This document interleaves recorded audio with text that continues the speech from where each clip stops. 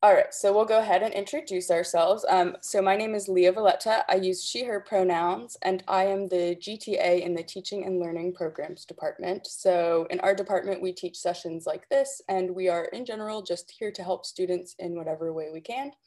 Um, so yeah, I'll let Brittany go ahead and introduce herself. Hey everyone, I'm Brittany Norwood. I also use she, her pronouns and I'm one of the Commons librarians. So I do work with the um, Learning Commons and with public services. So I do a lot of help with research assistants. Um, I do a lot of work with accounts, so on and so forth. Sometimes you'll see me at the front desk. Sometimes I'm the person who answers um, your chats that you send in.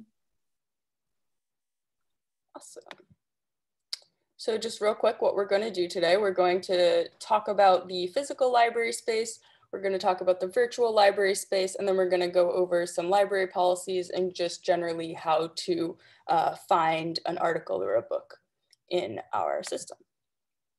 And here are just our learning outcomes. Um, we just hope that you can be more comfortable using the library in general, um, finding materials with one search, becoming acquainted with policies, like what to do if we don't have what you're looking for, that sort of thing, and where to find help when you need it.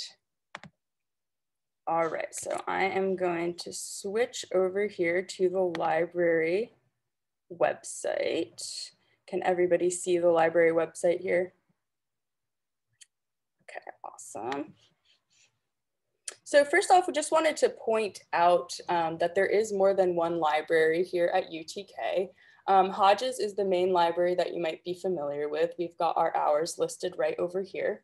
Um, but besides Hodges, there's also Pendergrass, which is the ag vet library, um, but it is open for all students. It's over on the ag campus.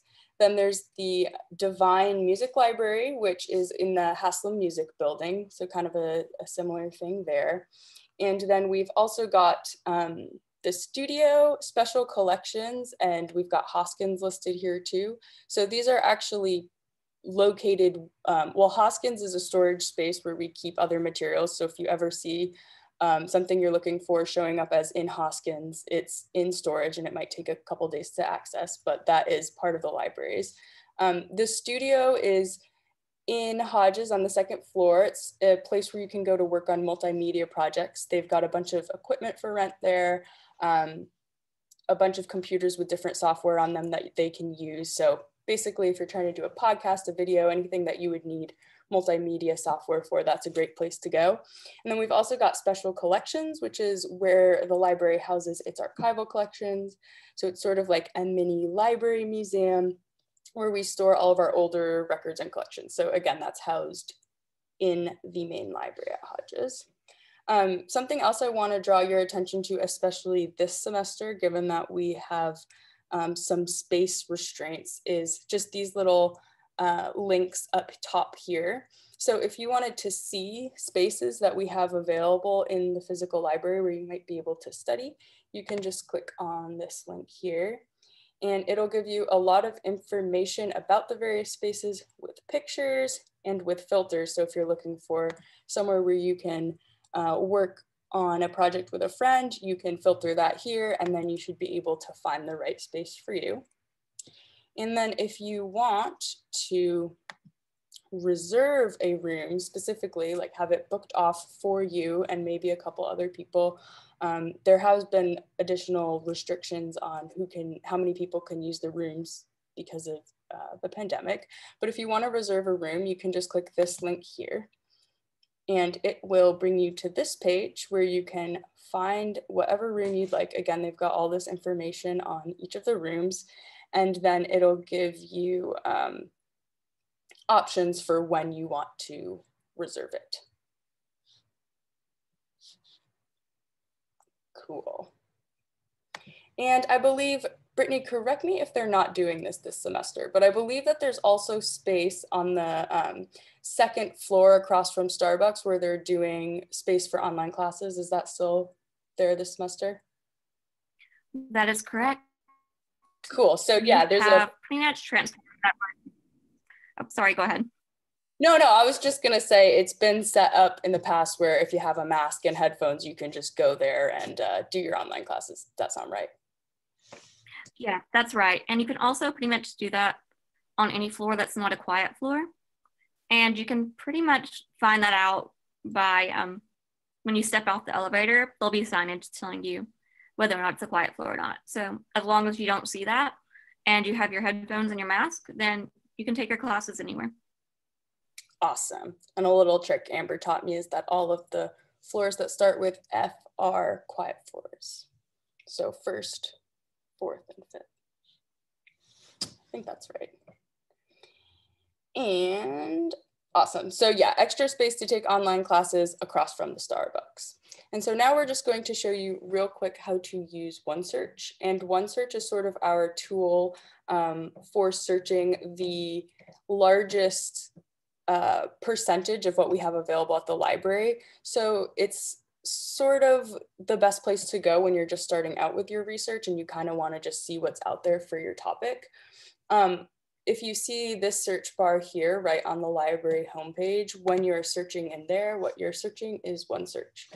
Um, so it does have most of the materials that you have access to in the library, not all of them, but most of them for getting started. Um, so we do have a whole separate workshop on finding secondary sources and another on using subject specific databases. So if you wanna go more in depth into this process, definitely check out those workshops. This is gonna be just like a quick overview of unit, using, excuse me, OneSearch. Um, so if we wanna research a topic, we'll go here and I'm gonna use my colleague's example because I like it so much with peanut butter. Putting it in quotes, um, just helps keep those two words together. So even though the search bar kind of looks like Google, you have to use keyword searches with it. You can't just type in um, a whole question like you would be able to on Google. So if you're going to use peanut butter as your keywords, you want to put it in quotes just to make sure that it doesn't search peanut and butter separately and you only get results that have peanut and butter right next to each other together. So we'll go ahead and give this a try.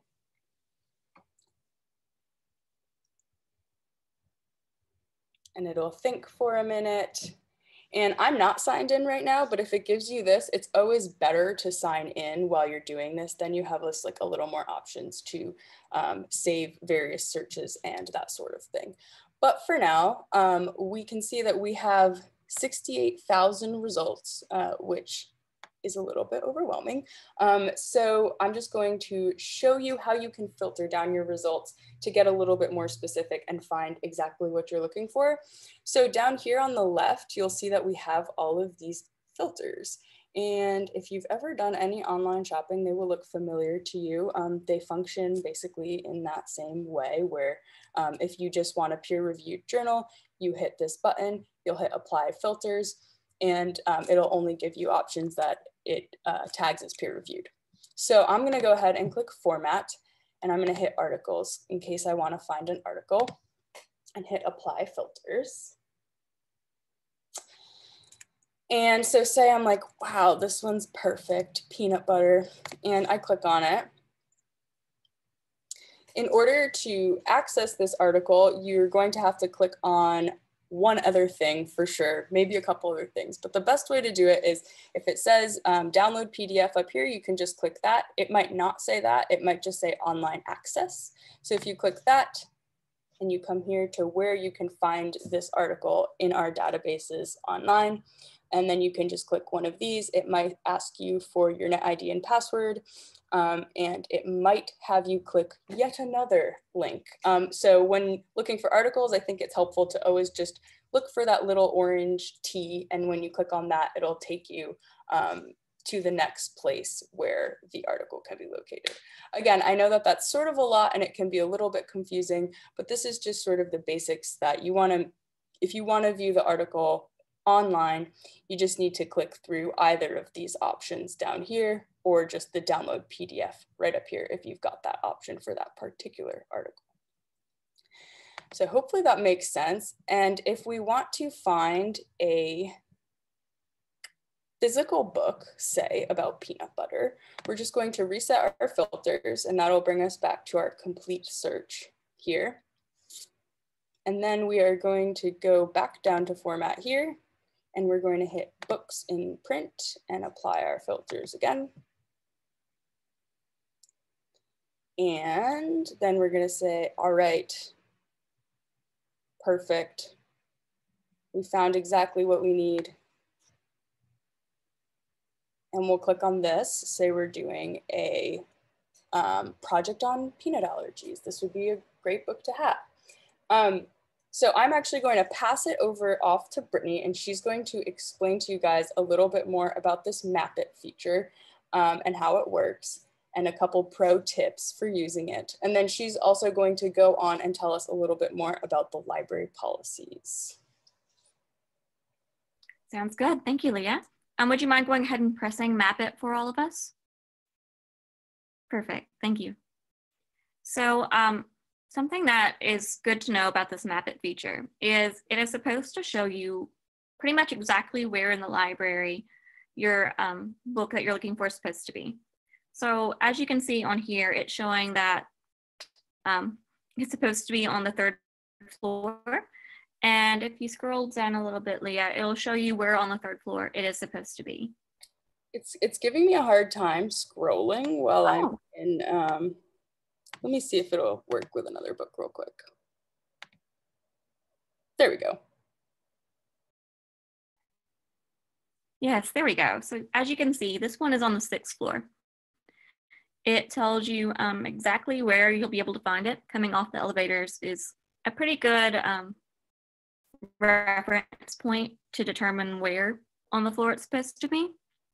And if you were to print this out, it would also tell you um, the item's call number and what um, the shelving row it, it is supposed to be on. But something to notice is, um, well, what just happened to Leah is that sometimes the Map It feature does glitch.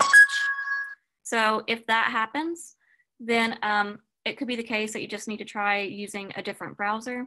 Maybe you just need to reload the page. And this is also something that's particularly prone to happening on cell phones. But if you are in the library and you're having this sort of issue, come up to the public services desk, tell us what book you're looking for, and we'll print out the map for you. It typically works really well on our computers, so we don't have that sort of issue too often. Another thing that you need to consider is while these are maps are typically really accurate, there have been cases where people have gone up and used the maps and it turns out they're slightly off for some reason. If that happens, you go up and you start looking for your book and you can't find it on that shelf it's supposed to be on, try looking on the adjacent shelves because sometimes it's just the fact that when people started reshelving books and moving them around, that they ended up just somewhere slightly different, maybe one or two shelves removed from where the map shows you. And if you still can't find it, come down to us and we will guide you through the steps to either help you find it or to get somebody to go look for it for you. And now I'm going to start going to go over policies if Leah is ready for me to do that. I gotcha. We'll pull up our slides again. Sounds perfect. So I'm going to go briefly over some of these policies and I will actually share my screen at the end and show you how you can find these things on the library website. So first of all, I thought you guys might want to know how you guys can check out books and how long you can keep them. So check out a book. You just need to bring it to the public services desk. Make sure you have either your VolCard on you or some sort of photo ID and you know your net ID. So that's the first part of your UTK email address. From there, you hand the book over to us. We'll put it on your account and we'll tell you when it's due. If it's the case that you have requested a book and put it on hold, you just need to come up to us, um, tell us that you have something on the hold shelf for you, show us that your card, and we'll go grab the book and take care of the rest for you. So in terms of how long you can keep it, um, as long as you maintain undergraduate status, then you have four weeks with the book and you can renew it for um, a maximum of 16 weeks. Now, this differs according to the material. So for DVDs, you have like three days with them. And I'll show you how you can, where you can find all this information. And if you um, end up gaining like special undergraduate status, then the amount of time that you have with some books extends. And once again, I'll show you at the end how you can find those policies. Now there's a question about what if somebody has a book that you need, or you have a book that somebody else ends up needing. When that happens, you can um, request the book and it'll send an email out to the person who has it telling them that the amount of time that they have with their book has been um, shortened to 10 days. That's how long they have to turn it in. Once they turn it in, we'll put it on the hold shelf for you and we'll email you when it's ready. Now, if it's the case that this ever happens to one of your books, then you will be the one receiving that email. It'll tell you when your items are now due. And if it ends up being the case that you still need that book, then you can typically go through interlibrary services and let them know that we only have one copy. Or it could also be the case that the copy you need is missing. Not really too much to have to do with somebody recalling the book you need, but sometimes that happens. And then they will get it for you from another library. And I'll go over how exactly you can do that as well. So what happens if our libraries don't have the book or article you need? Well, in this case, you're also, once again, wanting to go through interlibrary services. And at this point, I'm going to share my own screen and show you how you can do this.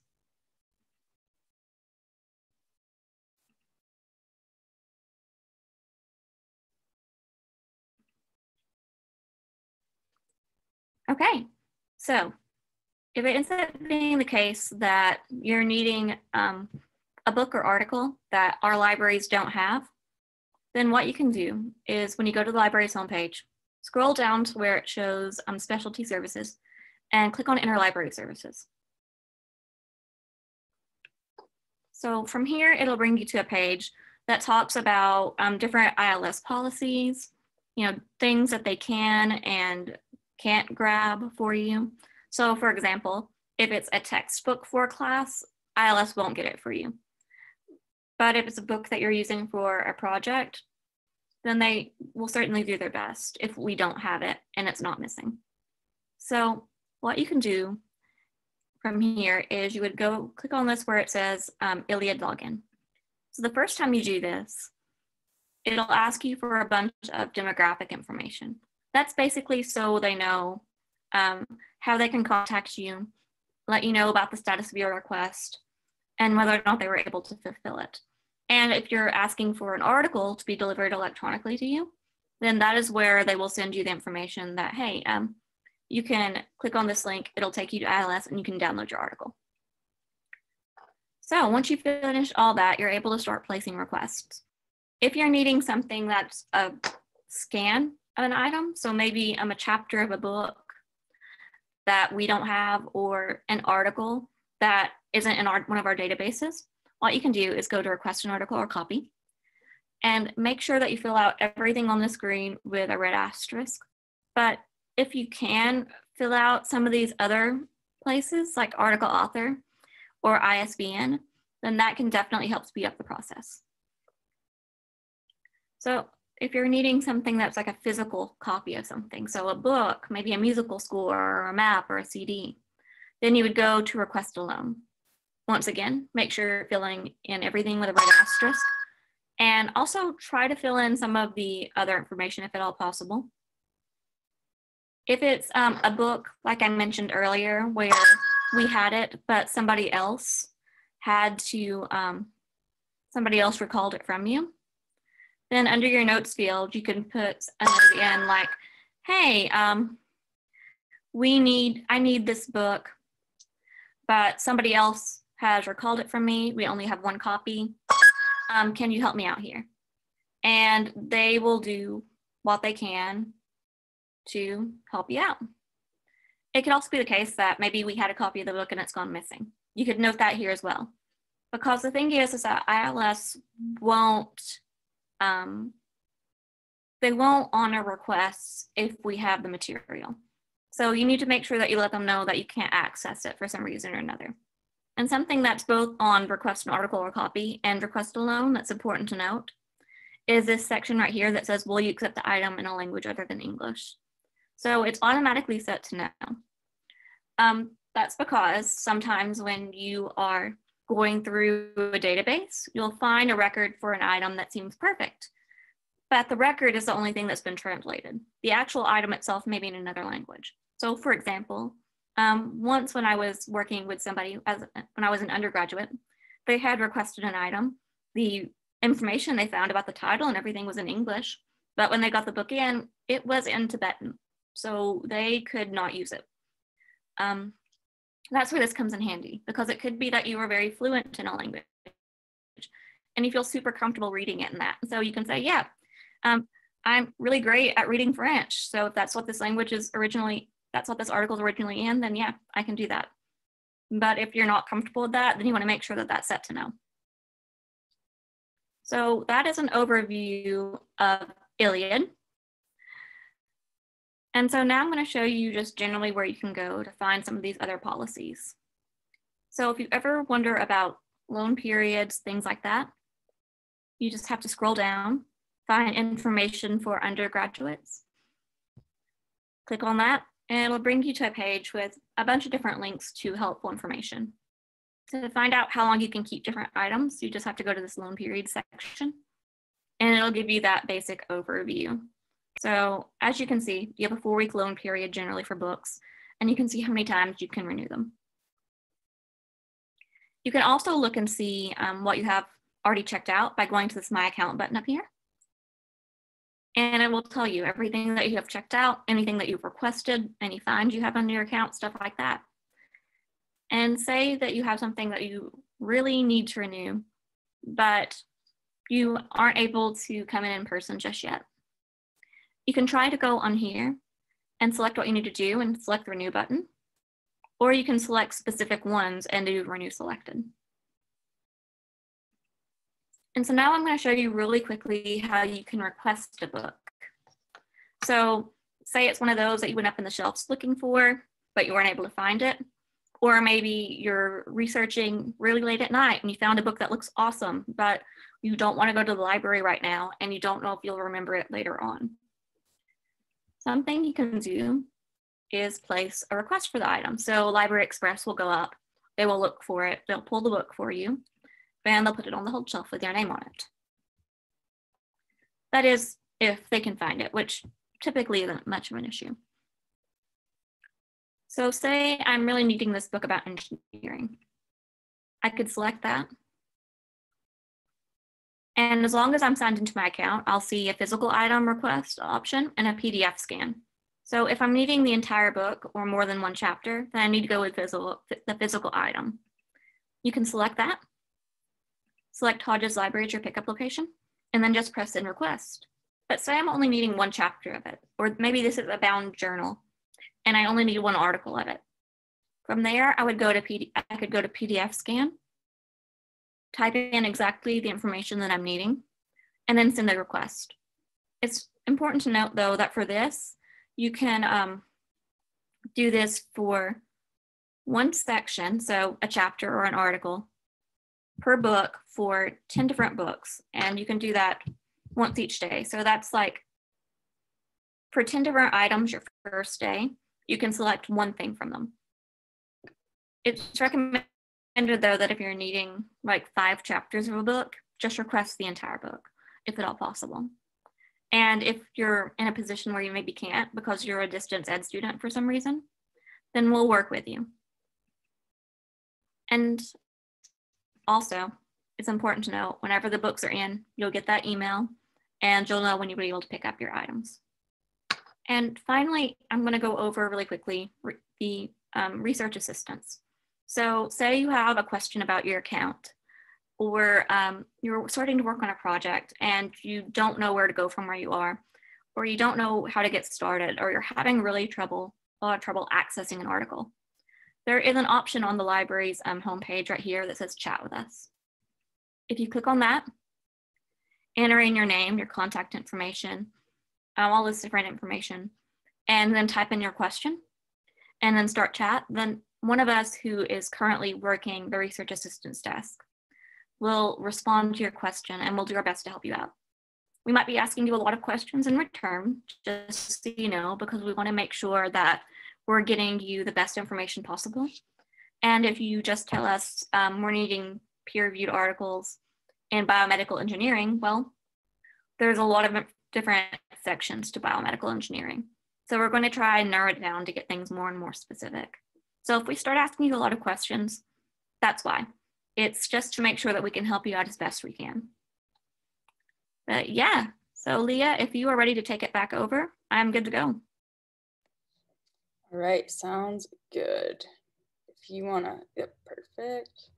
We'll just finish up here. All right, so thank you guys for coming. We are almost to the end of the presentation part. We will be here for the next 30 minutes answering any questions that you might have. Oh, didn't start my video, just a disembodied voice. Um, so definitely feel free to stick around, ask us whatever you want. If you wanna try finding an article, try finding a book, whatever you wanna do, we will be here to help. Um, we do ask that you take our little um, survey. It's only three questions. Um, we've got the tiny link here. I think Carissa should throw it in the chat for us. And if you guys can just complete that survey, let us know um, what you liked about our session, what you didn't like. That's just super helpful for us going forward. Um, just wanted to plug a couple extra things. Next week's workshop is Nowhere to Go, Secondary Sources. So like I said, that'll just get a little bit more in depth about finding articles and other types of secondary sources using the library's um, extensive databases. And then I also just wanted to plug this game that our colleague made um, using Twine. It's super fun and it's a really great additional um, and a, just a great ad addition to this workshop because it would really help you get acquainted to the libraries. Um, it kind of meets you where you're at. You can take a couple different paths. It's really fun. Um, so just wanted to plug that as well. We'll also throw a link to that in the chat. And I am going to um, stop sharing my screen here. Actually, I'll leave it up for another couple of minutes and we will go ahead and stop the recording.